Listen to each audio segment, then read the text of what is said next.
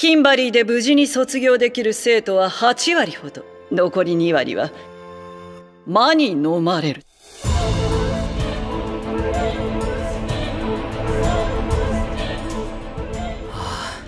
咲かずのジャックも見事に咲いたか。あの手の魔法植物は土が含む魔素の質で性格が変わんのさ。人権を認められた存在以外は魔法使いにとって全て資源でしかない。読書の邪魔だこの髪型は我ら一族の証し。からばそのままゆるりと待たれよ。なぜあんなにもその少女に目を引かれたのだろう。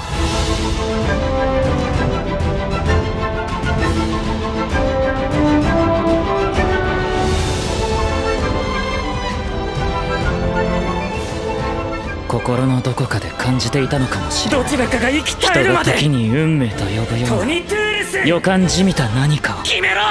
七